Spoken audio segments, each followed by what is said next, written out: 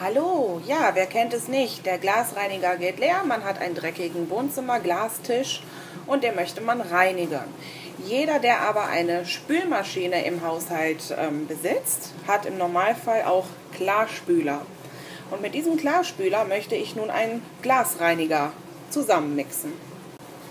Als erstes habe ich mir hier zu dem Klarspüler noch 200 Milliliter Wasser ähm, aus dem Wasserkran ähm, abgemessen und ich habe eine leere Sprühflasche. Demnach gebe ich nun die 200 Milliliter Wasser erst einmal in die Sprühflasche hinein. So.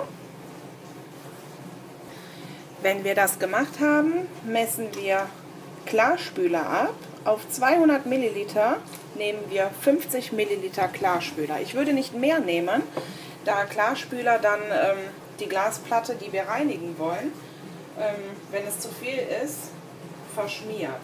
Das Ganze geben wir dann zu dem Wasser in die Flasche hinein. Wir schließen den Deckel,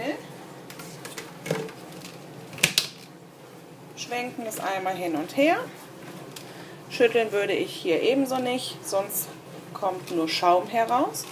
Und anschließend können wir die Glasplatte, die wir damit reinigen wollen, super reinigen.